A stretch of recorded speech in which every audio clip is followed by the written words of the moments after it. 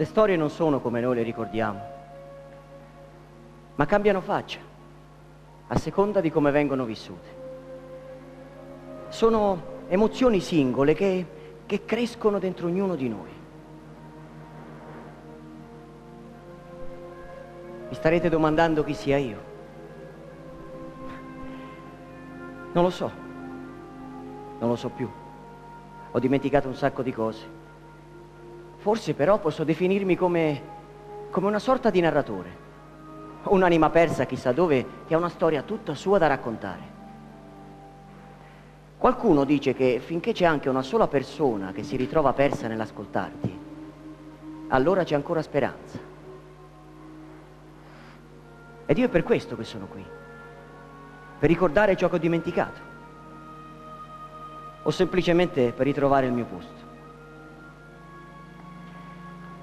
Quello che succederà qui, oggi, non è quel che è successo, ma solo ciò che alcuni hanno provato e, e che ricorderanno fino alla fine.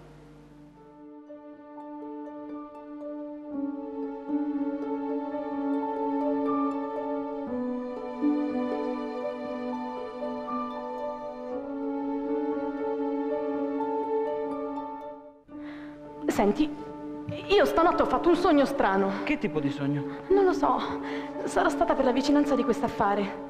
Ho sognato di quando ero bambina alla casa al mare dei miei. Sai, io, io in quel periodo giocavo sempre a fare la mamma. Beh, dai, è abbastanza normale. Tutte le bambine giocano con le bambole trattandole come veri neonati. Eh, sì, però io lo desideravo proprio tanto. Ah. Sognavo il principe azzurro che arrivava sul suo cavallo bianco. Io mi calavo dalla finestra e andavamo insieme in un bellissimo prato fiorito. Lui mi baciava ed io rimanevo incinta. Dopo nove mesi si sgonfiava la pancia, arrivava una cicogna che lasciava un fagottino sotto un cavolo. Ah. Vabbè, avevo un po' le idee incasinate allora. Invece adesso sono una meraviglia. Sei scemo.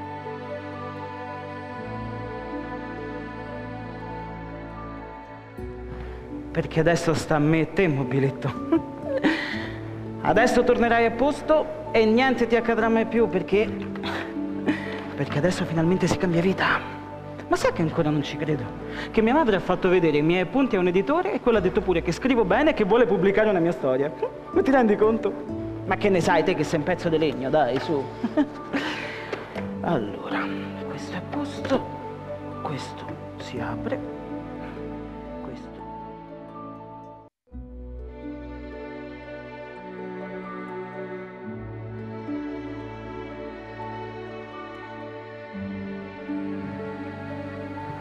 La felicità costa poco.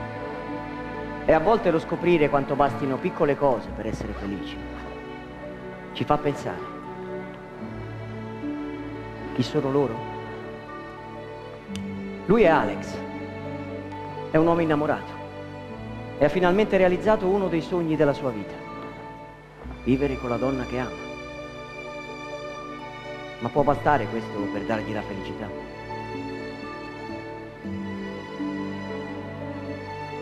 Ha anche un altro sogno. Fare lo scrittore. Ma ha troppa paura di non essere apprezzato e di non essere capito.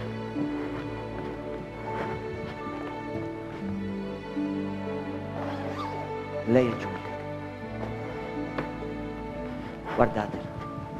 Lei è la dolcezza, l'ingenuità e l'amore. Ma è anche l'incertezza. E rannicchiarsi in un angolo buio mentre rimescola le carte della sua vita.